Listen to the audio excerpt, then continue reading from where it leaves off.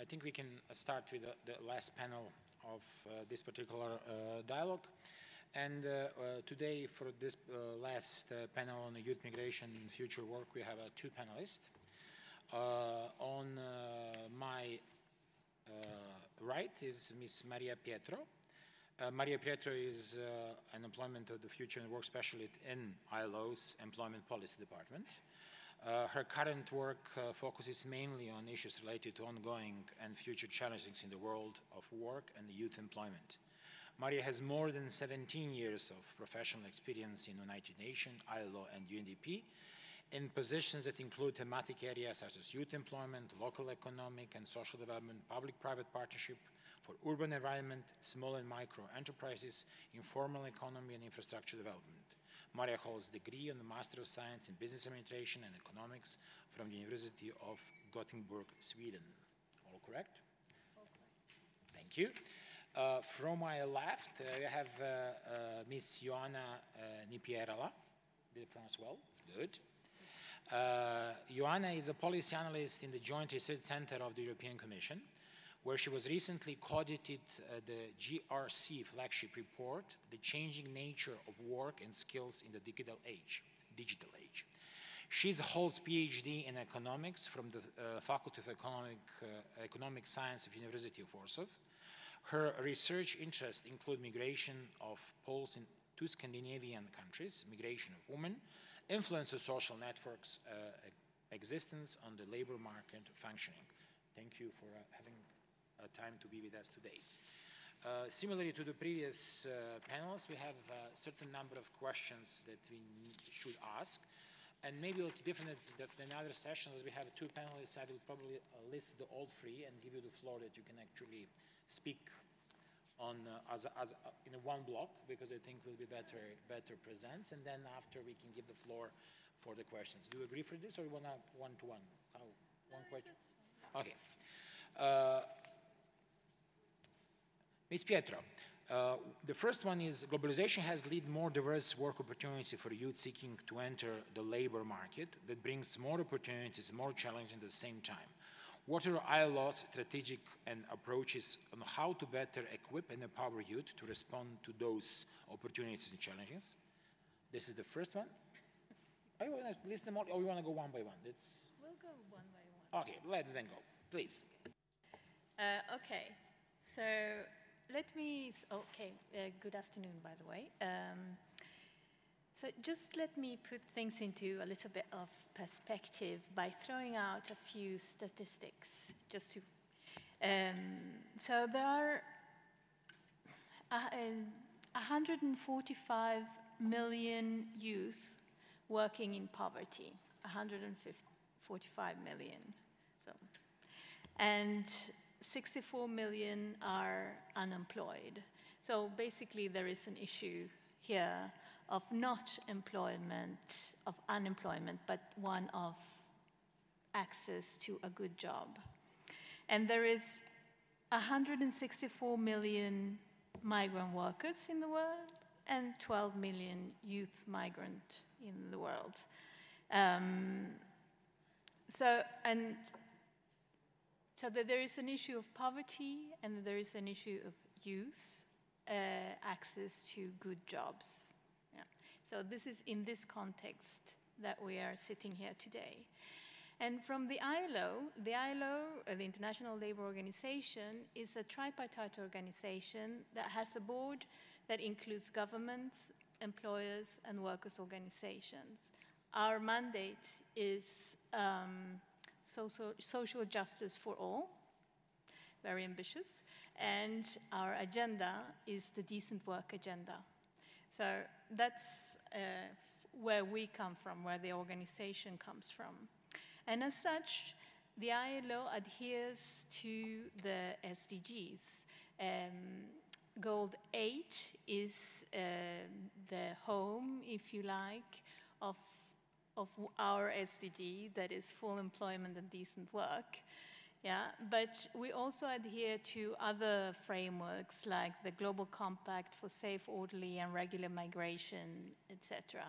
So, and we are also a normative organization and standard setting organization. We work with international labor standards, conventions, and recommendations as one part of our work. And uh, in the area of um, youth, there is a, a, a resolution that is called the Youth Employment Crisis, a call for action, that obviously also include youth migrants, yeah? And more recently, what the ILO has been sort of investing a lot of time on is to create a framework to address the changes in the labor market that are occurring. Yeah? And I'm sure that you have seen in social media, in, uh, in newspapers, etc., um, the discussions around the future of work uh, and how it is changing and how work will change, etc. So the ILO launched um, an initiative called the Future of Work Initiative to explore what was going on around the world in all our 187 member states. Uh, and in parallel created a commission of experts and uh, sort of high-level experts um, chaired by the Prime Minister of Sweden and the President of South Africa. And in these discussions of the Global Commission on the Future of Work, um, the, the final outcome is a, a publication called Work for a Brighter Future.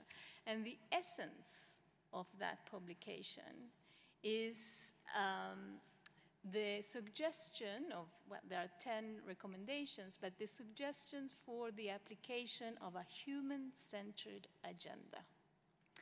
And which is, you know, I highlight this uh, as a very important part of, of, of the ILO's framework at the moment.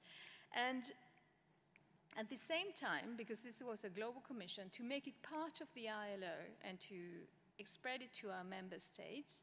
Uh, this summer, in June, in our International Labour Conference, uh, there was the adaptation of, of the so-called centenary uh, declaration on the future of work, because the ILO just turned 100 years, and sort of this was sort of with a bang, if you like, going towards the future.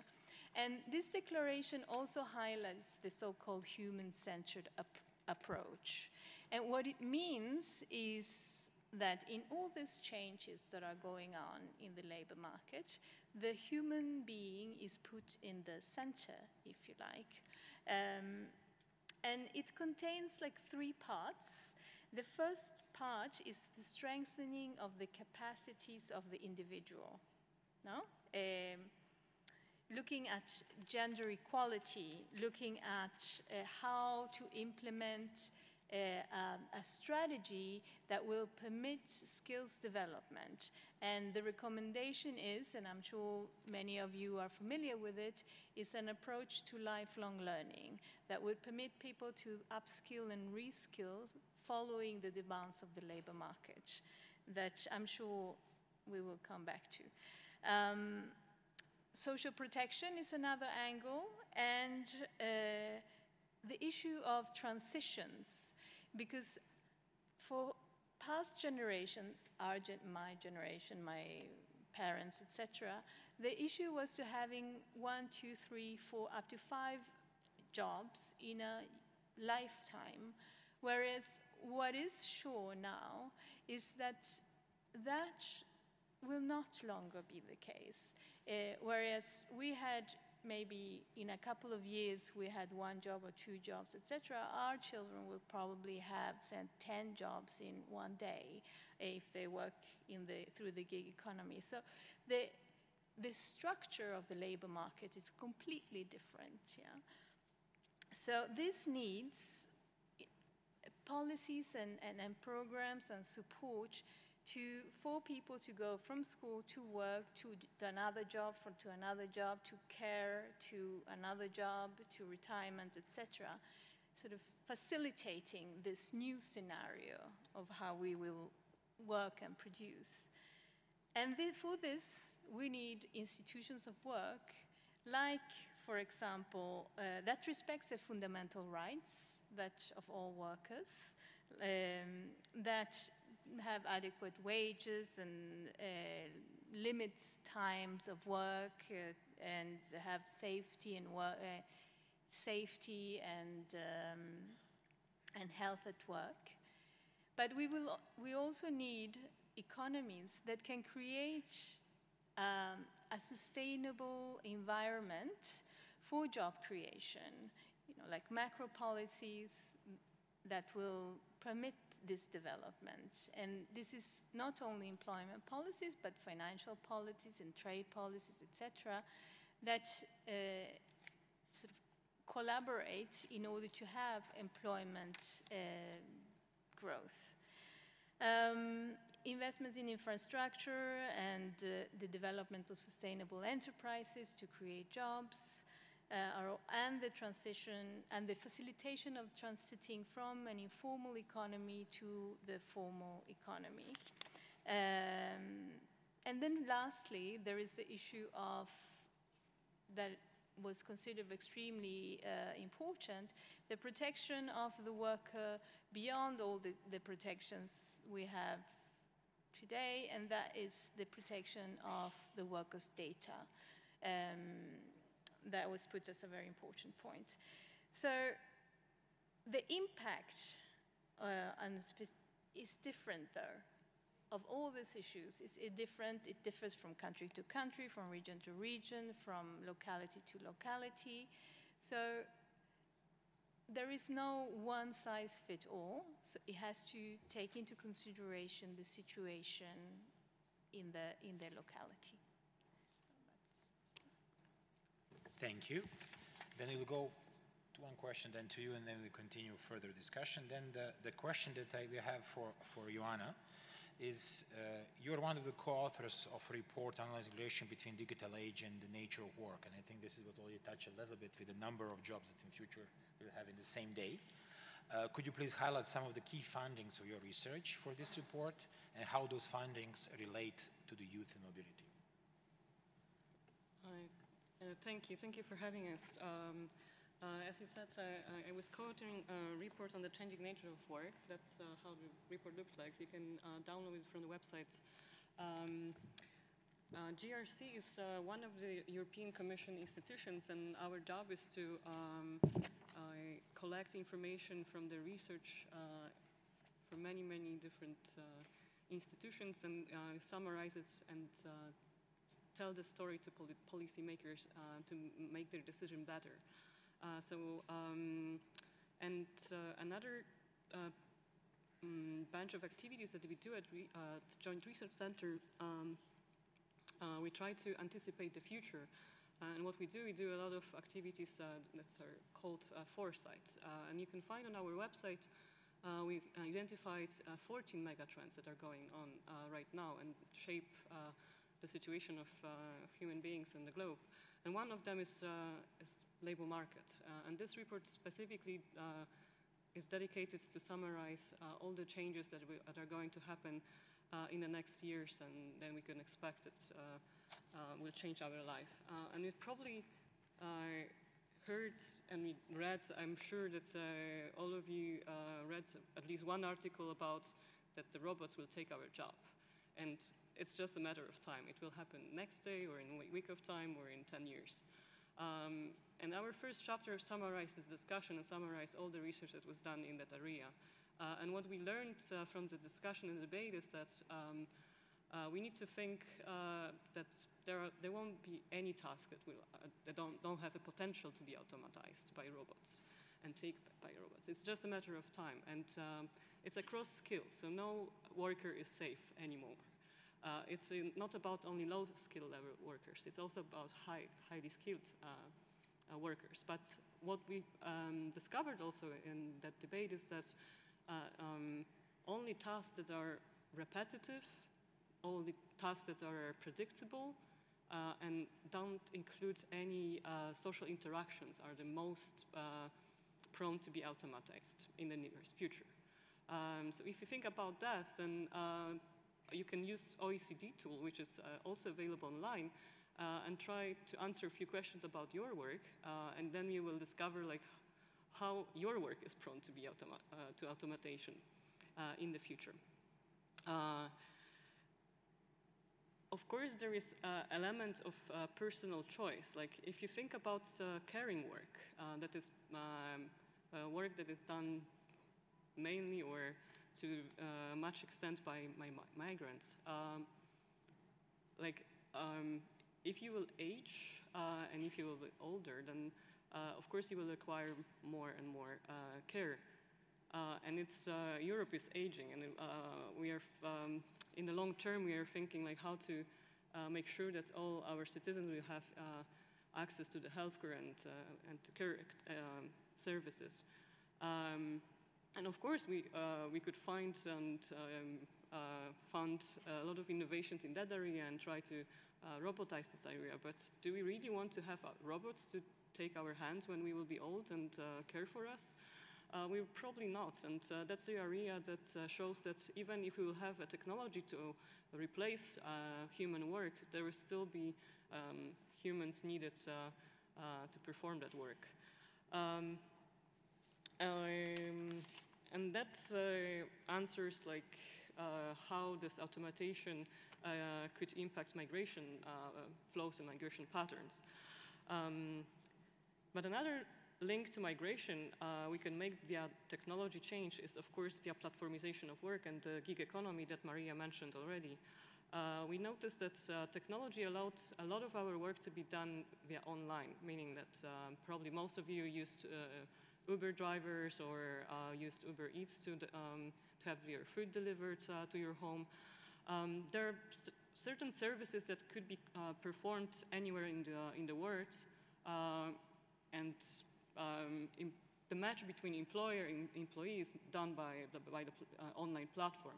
And if, if, if, you think about this, uh, this market, uh, you could see that most of the jobs um, that are done via the platform work.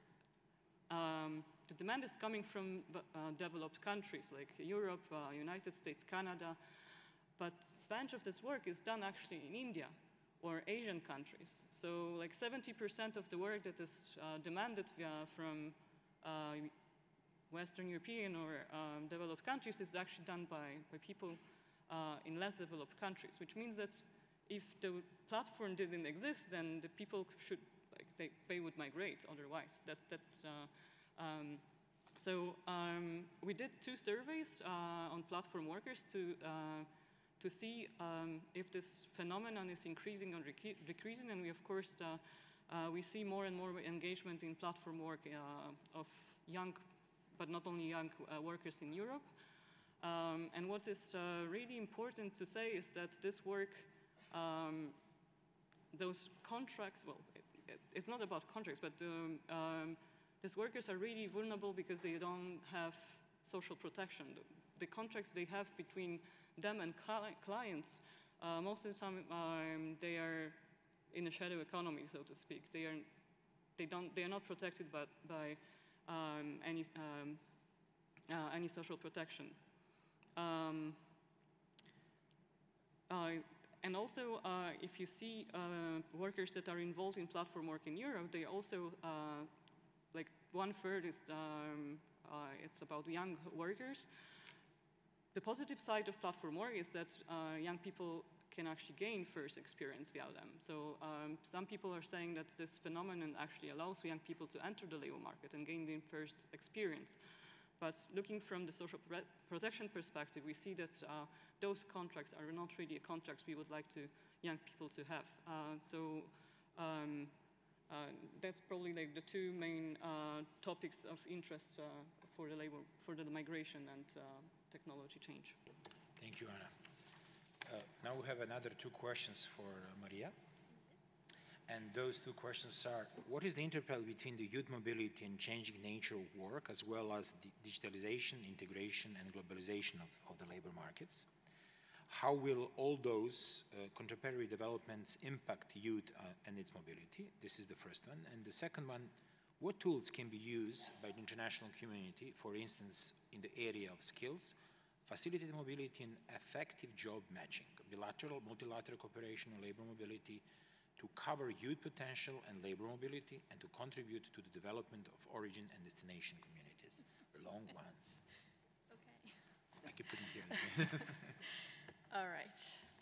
Let me address the first one uh, that relates to uh, the drivers of change that are influencing the labor market and the interaction of those drivers of change with young people and migrant, young slash migrants. And the one, the first uh, message that I would like to leave you with is that there are several uh, drivers of change, and they should not be seen separately, because it will give just part of the answer. What technology, how technology influences the future of work, how the shifts in demographics, or how you know climate change. You have to look at the whole spectrum of things to be able to say, to make an accurate analysis. That's the first message. Um, and now looking into the different drivers like globalization is one that we often just overlook because it's been with us for a while, decades. But there is a shift in globalization, whereas opening up tr- of trade and, and, and the traveling and uh, free movement of goods and people, etc., was a trend that was expanding due to recent uh, geopolitical approaches. Uh, there is a setback in globalization, there is a, a stagnation, there is a return to nationalism and protectionism as a trend. And this is important to highlight. And this also influences, obviously, migration and migration policies and programs. Um, at the same time, as globalization also has been increasing in terms of through internet, through new technologies, uh, like um, we are extremely connected now. We know exactly what's going on in Madagascar and in two seconds, etc. So that brings us all closer together. But there is a, a turn, if you wish, in, in, in desires, in how people see um, like getting closer to each other. Yeah, and it, it, a lot of the answers lie on what have been seen as losers and, and winners of globalization, and a lot of feelings around that. Yeah. Um, another driver that every, it's every, in everybody's mind, and it has been mentioned already, is the demographic shifts. And there is now globally, we are aging. I mean, the whole world is aging, which is a good thing. It means that we have better health care and we take care of each other better, etc. Um, at the same time, that it cannot be forgotten that Africa has an enormous youth bulk. And this constellation brings certain um, tendencies. If you think, you know, you have, we have an aging population, say, in Japan, and next door you have uh, not enough jobs for youth, meaning in the, then it would be normal that there would be a matching, yeah? Um, and there is a tendency through the care economy uh, of increasing uh, employment through that sector. And migrants and young migrants are, have a tendency to, or have, yeah, in, particularly in Asia, Asia, but in other countries, to be in that sector. So there is that influence uh, no, on the aging. Now, technology that we have been already touching upon uh, is the other driver, the, the most popular driver of change, if you like. Um, and it's one that generates a lot of fear. Will I lose my job? Will my job be uh, relevant in a few years? Uh, and there are a lot of studies. A few years ago, when we started the whole thing, the, the issue was jobs will be destroyed. Point. And now, with time, it has changed. Um, there was an issue of low-skilled jobs that will be destroyed, but then it's not completely accurate because uh, there are also high-skilled jobs that are destroyed. So, but one thing is for certain, though, and that is that all jobs will change in a way, and they have already. I mean, if you think about it, we work differently that we did five, ten years ago because of all the gadgets that we have access to, because of you know, things like the internet, on the emails and the, uh, the, the apps that we use. Uh, I know in the ILO we have several apps just to do training. Uh, so that's, um, so it will change. And in, in terms of automation, another discovery, if you like, is that there is a direct correlation between age and risk for automation. That we have done research on, and there is a U curve. Sort of the younger you are, the higher the risk for automation, and then the curve goes down a little bit with age, and then it goes up again when you go up in age. So that's another sort of uh, finding that we have. And automation is in principle displacing. You know, the, the question is how, and the, the issue is that automation and technology is happening in such a speed that what is true today might not be true tomorrow. We just need to take this into consideration. Um, like, but automation is there. Like the, the International Federation of Robot, Robotics has confirmed that there is a high concentration, an increasing concentration of robots being created and disseminated to developed economies, yeah, mainly. Uh, and that influences, obviously, the, the migrant workers that had these jobs uh, earlier. Uh, and um, the same goes for digital uh, digitalization. Uh, there is a high concentration of access to digitalization or to the internet in developed economies. It's I know that there is this whole feeling that Africa is connected and the, uh, the apps, etc. But figures don't lie. There is a, a huge gap with the developed economies. And the, and the last uh, driver that I wanted to mention is environment and climate change that is influencing us a lot the way we work and produce.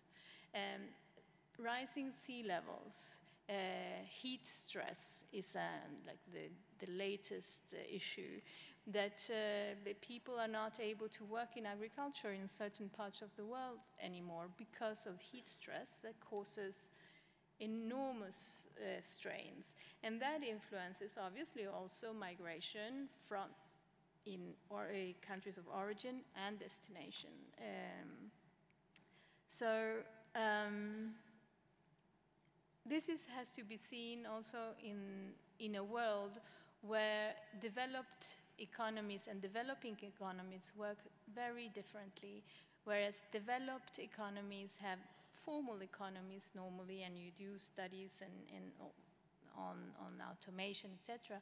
Developing economies are to a high percentage working in informality and makes it very difficult to make that kind of estimation. The ILO has been working on the informal economy for decades, and we don't see any diminishing of the informal economy in, developed, in developing economies. On the contrary. And now there is a new kid on the block called the gig economy that is not helping things because we see uh, an increase in non-standard form of, of employment in emerging and and developed economies as well. Um,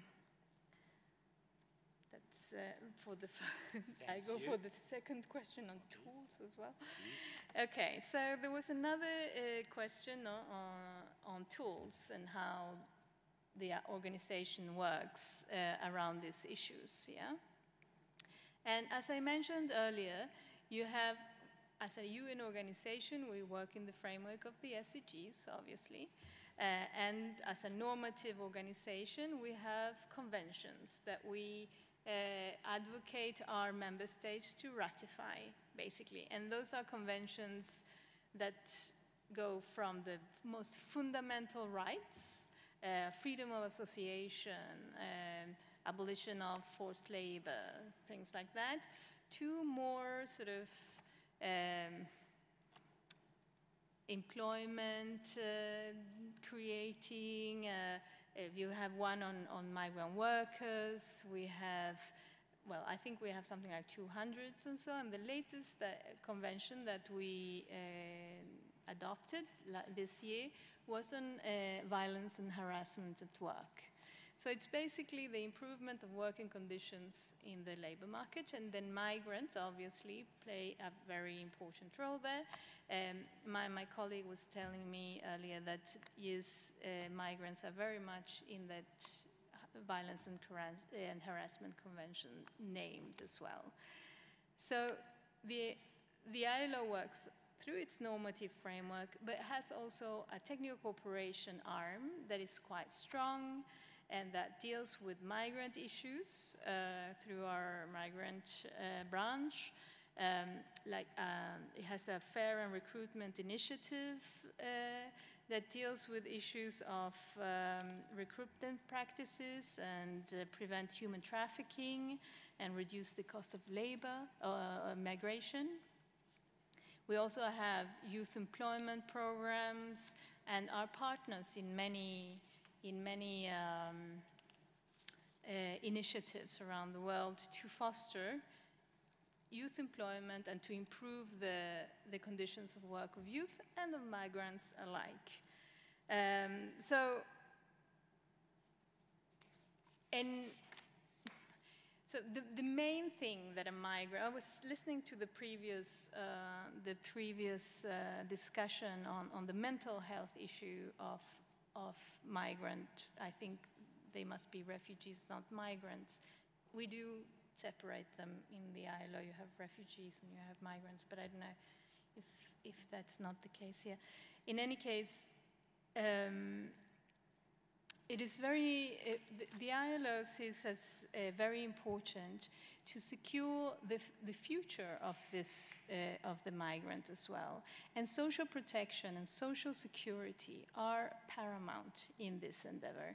People that come to a country to work need to be made in, integrated into the economy.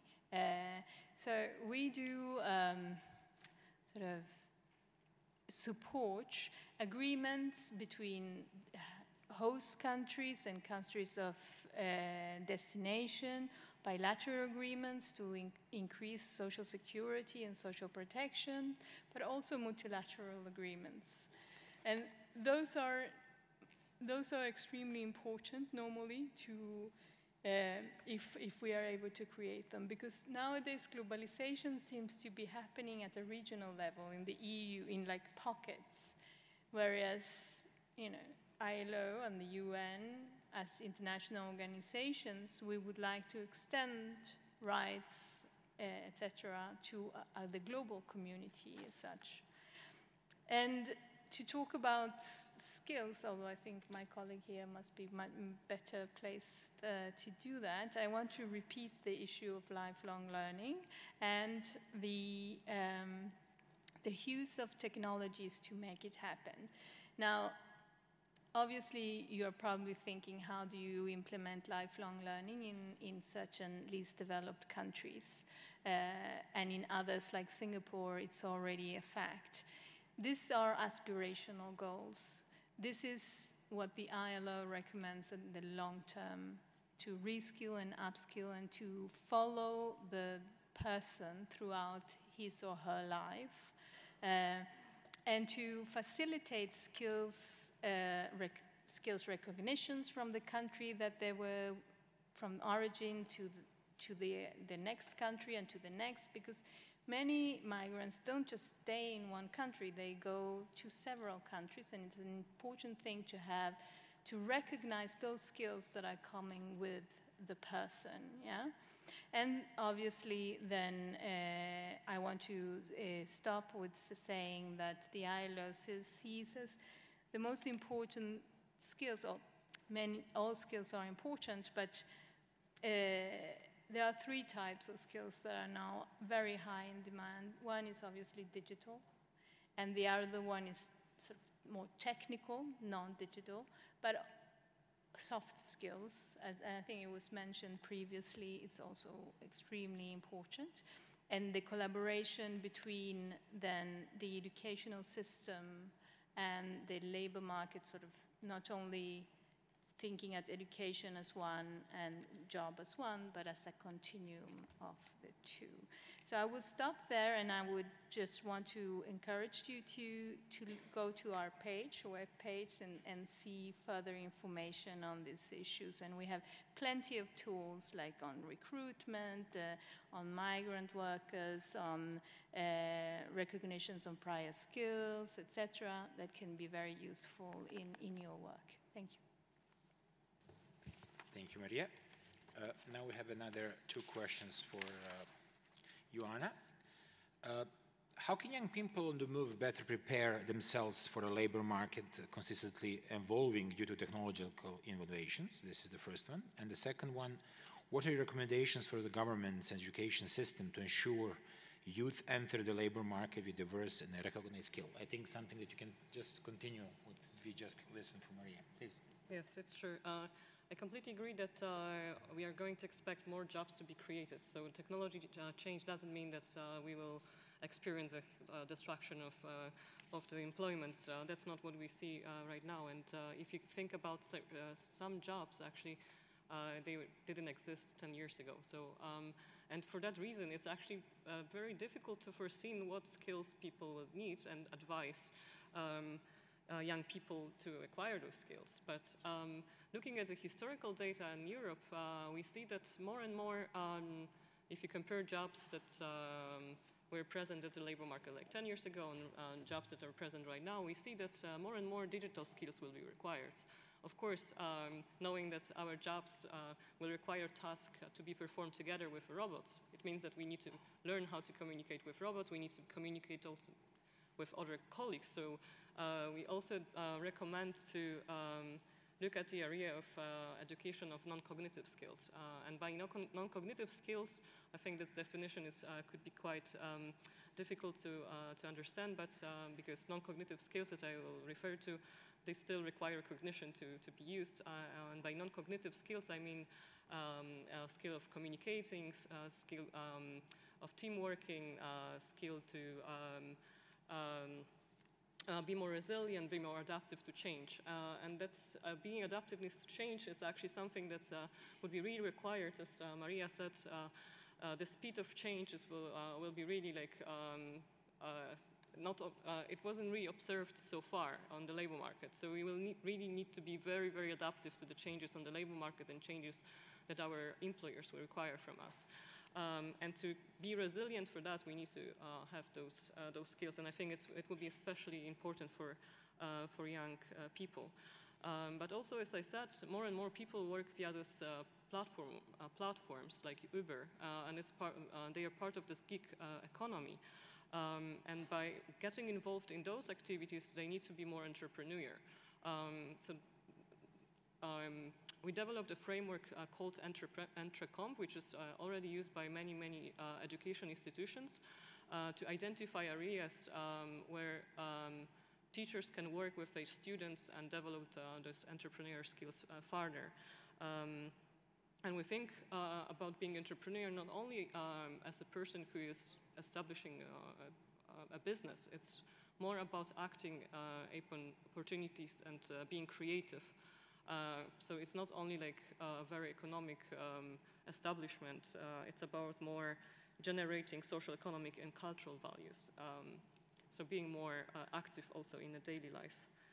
Um, I'm not sure if I could make any recommendations because um, my, um, by representing JRC, I, am not in a place to make any recommendations, but uh, we look in certain areas uh, re relating to the education systems um, and when we see that uh, whenever education systems are more involved uh, uh, in, the, in a cooperation with governments, in cooperation with uh, local institutions and employers, um, those types of activities really are very fruitful to improve um, um, chances of young people to enter the labor market more smoothly. Um, also, we promote the lifelong learning approach, uh, and um, why, why we are um, promoting is the reason is uh, obvious. Like um, technology, we interrupt and we'll keep interrupting our work. So we uh, will have to reskill and upskill uh, constantly, and uh, we will have to learn um, not only during the formal education, uh, but uh, also um, once we will enter the labor market and um, and, and start start to work. Um, and we identified that uh, online uh, courses could be really helpful in this uh, lifelong learning approach, meaning that uh, uh, there are so many uh, courses available online that are accessible from, from any place in the world, which is networks. so it's really accessible and could be very efficient in provi um, providing of new skills. Um, so I think uh, those, uh, those things that I can mention and those points we could make uh, to this topic. Thank you also both for a brilliant presentation from both from the ILO perspective, but not only ILO perspective, basically where the future work is, and also supported by the research done by uh, IS, IS, IRC, JIRC, sorry. What is, can you tell us full name? Uh, because this is what I, yeah, I it's Joint Research Center. Just not to, because there's too many abbreviations, I think it's better to say the full that nobody can actually make mistake and come to the, your website. Now I would like to invite you for a questions, uh, comments, or uh, anything that anybody from the floor. Yes, I cannot see the name, but I, I see. Please, Mauritania, please go ahead. Thank you very much. I'm just wondering about the uh, concept of uh, migration and refugees. Have you ever find yourself that you cannot uh, you cannot know if this is a refugees case or migration or any mixed uh, cases like that? Thank you very much.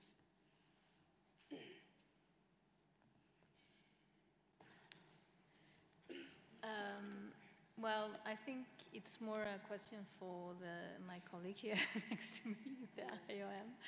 Um, but uh, there is an issue of, uh, I mean, the ILO says everybody has the same rights, basically. It's social justice for all. It doesn't say social justice for nationals.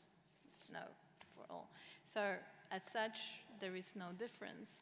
Uh, but there is a, a, a, there are legal questions behind that my or my people in transits, etc., that um, would need different approaches, maybe. Uh, I have personally never encountered uh, something that was unclear, but uh, I don't know if IOM wants to say anything. This is the why actually IOM and UNHCR are actually working together on the field, and as probably all of you are aware, we have the number of uh, consultative processes all around the world with IOM and UNHCR working hand to hand, and in that sense, UNHCR is working within their mandate, and this is on refugee status det determination, and yes, they are also beside uh, being guardian on the 51, uh, 51 convention, they are also uh, working with the stateless, and this is mandate of UNHCR. And then when you come to the migrants, then it's becoming uh, towards asylum. And this is basically the two things uh, when uh, uh, we come to the simple kind of explanation. You're absolutely correct. When you're coming to the person that is crossing the border, you, in many aspects, you don't know actually who is standing in front of you. And this is why our two agencies often together with the support of the civil sector working together on uh, profiling each individual case and seeing how to proceed, further because status, what was mentioned, is very important one, but we have uh, two things. One is the legal status, and one is actually how the someone perceive him or herself. Uh, we have another comment from Nepal or question. Please. Uh, first of all, I would like to thank IOM for organizing this important uh, dialogue. Uh, I commend all panelists for their wonderful presentations and sharing views on this important topic. This topic, in my opinion, is highly relevant in the face of challenges and complexities of globalizations. I just wanted to share my thoughts in these connections. Firstly, human-centered approach in every sectors of the work should be at the core for addressing the techno-induced labor market.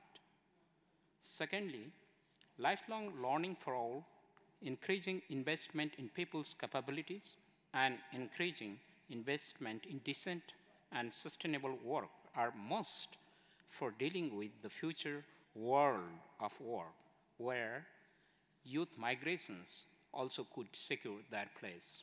Thirdly, new forces are transforming the world of work. Technological advancement is going to create new environment for work, and many jobs are going to extinct due to technology. So we need to educate, empower, and effectively engage youth to face up upcoming world of work. In this regard, findings of ILO report titled Work for Brighter Future, prepared by Global Commissions on Future of Work, are very important to cope up with the future challenges of decent and sustainable work. Thank you. Thank you to the distinct delegate from Nepal. Do we have any other comments, questions, quick uh, comments or questions? No. Uh, then actually we can uh, proceed. I would like to thank you to, to the to panelists and uh, would like to invite uh, Ms. Jill Helke. Uh, is the director of the ICP Department, International Cooperation and Partnership Department within IOM, for closing remarks. I think we can, we can stay. Only if you. Thank you very much. Uh, good afternoon. I don't want to keep you from catching your planes or your evening plans, but I would like to thank you all for staying to the end uh, and for all the participation that you have uh, been contributing throughout the two days, and of course to all the panelists for their contributions. Uh, I think the discussion has been very rich. The session was a follow-up to the previous International Dialogue on Migration in New York, a dialogue that has really begun the dive below the surface of the deep complexities of the relationship between youth and migration and challenged us to discuss several more facets of this topic. I hope you will feel you understand better and perhaps have even been inspired by the presentations and will reflect on the knowledge and expertise shared by the speakers. As the DG mentioned in his opening remarks, IOM wants to listen, learn, and act on these discussions. We're committed to following up on various recommendations and good examples and build effective partnerships with the different actors who've been identified during the course of this dialogue. I can't do justice at all to what has come up during the course of these two days, but here are a few highlighted takeaways. Young people are not strategically important only because of the percentage in the world population, but also because of how much they can contribute. Empowering youth is an investment for creating foundations for stronger future generations. Youth have a key role to play in sustainable development, and this can be enhanced through ensuring their access to capacity building, knowledge, technology, and training. Technology is an important tool for young migrants, a tool that gives us a chance to produce verifiable data through the combination of apps, social media, and one window approach. It's essential that verifiable data can be analyzed without bureaucracy. Partnering with local authorities and private sector is key for this to become more possible. Unheard stories, Successful migrant voices are needed, but we also need to listen to the ones who did not succeed, the ones who didn't make it through migration but returned home, and what happened to them. Young diaspora contribute to their countries of origin, transit, and destination economically through remittances, through the transfer of knowledge and skills, by connecting people and resources, but also through the movement of cultures which helps to break negative and harmful stereotypes. We need comprehensive solutions for the engagement of diaspora, which should include policy changes such as on the right to vote and the right to nationality, and appropriate programs for integration and exchange of experiences between diaspora and their countries of origin. It's necessary to build capacity for better collection of data and statistics, to assess the needs and potential contributions of diaspora populations, to establish the right means of communication with them, and to provide an enabling environment for them to be properly engaged. In the African context, we need to start building a new narrative and perception of African migration. There's a need for a more nuanced and fact-based debate on the migration flows, and we think the African Migration Report will be an important tool in this regard. One of the conclusions of the report, which deserves attention, is that while women constitute almost half of the total migrating within Africa, women mostly stay relatively close to home, whereas it is the men who travel furthest afield. Education is a powerful tool for youth integration. Programs like Tandem, which bring local and newcomers together in universities, should be replicated in other areas, aiming at providing better support and integration to young migrants. Environmental changes affect everyone, but some groups are affected disproportionately, including youth. Youth has to be given a role in disaster risk reduction, has to be included in policy discussions and processes, having the chance of meaningful participation. As highlighted by our speakers, youth are already making a difference in building resilience and making strong calls to be heard. We need to be better at identifying the fears that disable young migrants and reduce the mental stress for them, including through more support and faster administrative processes. We need to look at work in the big picture, the conditions of work for young people as a whole, and taking into account technology and demographic trends, and have a lifelong learning approach. The recommendations made by speakers over these two days and participants over these two days have demonstrated that young migrants have unique needs that can only be addressed through the active participation and cooperation of all relevant stakeholders. In the coming days, a longer summary of the dialogue will be made available and a comprehensive report of this dialogue and the previous one in New York will be released. I would like to thank once again all speakers and participants for the thoughtful contributions to this session. We hope this provided an opportunity to reflect on the complexities of youth migration and will have emboldened you to take action to address the needs of young migrants in your respective countries, communities, and spheres of influence. As we begin preparations for the IDM in 2020, we would welcome your feedback and suggestions on themes to explore, and we look forward to seeing you at future IDMs.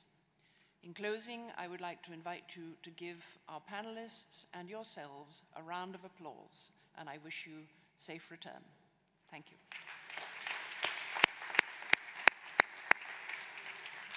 I would also like to thank uh, the organizing team from IOM who put all this together and kept it going, and I'd like to thank the interpreters for also staying the course. Thank you.